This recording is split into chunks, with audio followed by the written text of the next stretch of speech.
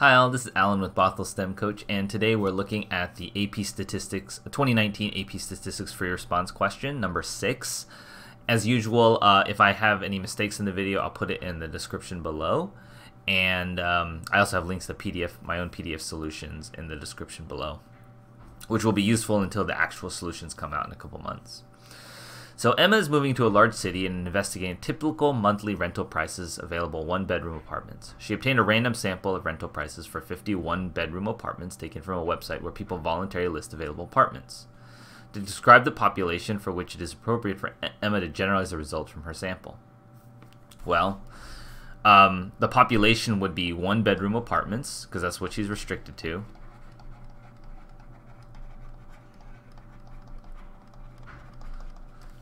But not just any one bedroom apartment um, that is listed on this website. By the way, which was voluntarily voluntarily listed. By the way, voluntarily listed on this website. Okay, uh, that's the whole population. So she's grabbing from one bedroom apartments from this list. It's not one bedroom apartments of the entire city. It doesn't include the ones that are involuntary listed. So you, you want to be very specific here. You want to, it's only the one bedroom apartments that they were voluntarily listed on this particular website. That's the only generalization she can make about it. Okay. Um, describe the population for which is uh, sorry. Uh, B. Uh, Emma wants to estimate the typical rentable price of a one bedroom apartment in the city. Based on the distribution shown, what is the advantage of using a mean rather than the median as the estimate of their uh, typical rental price? Um, let's see. Um, because it is right skewed,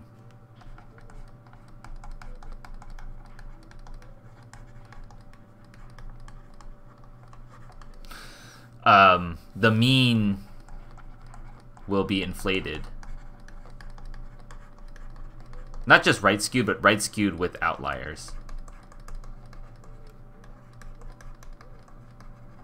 The mean will be inflated more so because of that. Like these values up here, I'm going to drive the mean much higher on average. And that's going to give her an unreasonable expectation of what she should list, uh, what she should expect to pay. Because these are kind of extreme values. They're not really like what you would, you know, be expected to pay. These are very high-end one-bedroom locations. So the median will be less resistant um, to the outliers. Median is more resistant to the outliers. And that's basically why you would say that that's better. Okay, so instead of using the sample median as a point estimate for the population median, Emma wants to use an interval estimate. However, computing an interval estimate requires knowing the sampling distribution of the sample median sample size 50. Emma has one point, her sample median, in that sampling distribution. Using information about rental prices that are available on the website, describe how someone could develop a theoretical sampling distribution of the sample median for sample sizes of size 50. Okay, so what you would do is you would just randomly select 50 from that website over and over and over and calculate the median. So you would repeatedly um, randomly select 50 one bed 50 apartments and calculate the median. Sorry, it's running off the screen a little bit there because of the calculator. Okay, um, because Emma does not have the resource to develop a theoretical sampling distribution, she estimates the sampling distribution of the sample median using a process called bootstrapping. In the bootstrapping process, a computer program performs the following steps. Take a random sample with replacement, size 50 from the original sample, calculate and record the median of the sample, repeat the process to obtain 15,000 medians. Emma ran the bootstrap process in the following frequency table with the bootstrap distribution showing her results of generating 15,000 medians. The bootstrap distribution provides an approximate sampling distribution of the median. Confidence for the median can be constructed using percentage of the values in the middle of the bootstrap distribution. Use the frequency table to find the following value of the fifth percentile.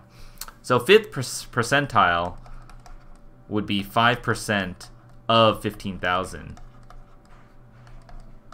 And that is...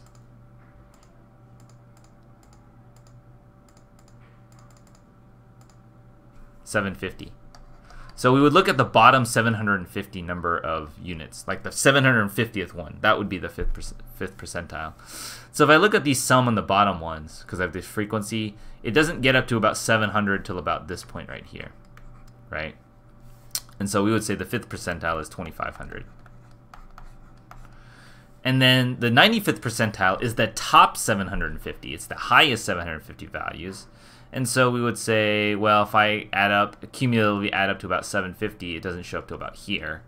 So this would be 2950. Now find the percentage of the bootstrap medians in the table that are equal to or between the values found in part D. So it's not actually equal 90th percentile, 90% because like remember because like the 750th happened to be in there but uh, you know we actually have to add up all the ones technically the percentage would be all of these. Including this one. Because it says uh, equal to or between. So I, I, would I would add up all those values. And that's kind of a lot of calculations. I actually decided to add up all these other ones because I know there's a total of 15,000 so if I add these and add these it would be 15,000 minus this sum here and um, 1 plus 13 okay that would be kind of tedious for you to watch me do. Uh, I did the calculation before so I did 1 15,000 minus 408 I think this side was about 408 and then this side I got about um, 188 and so the total number in this region that's that that that, that does include that is 14,404. And so the percentage would be 14,404 divided by 15,000 and that would give you um,